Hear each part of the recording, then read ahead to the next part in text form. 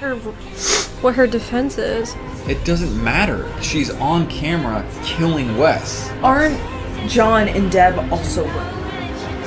Trigger this all to happen. Killing Wes. Killing Wes. There, there's a moment after it happens that it looks like she lunges over at him. Yeah, yeah. Can you see anything about that? Yeah, look, right here. Look.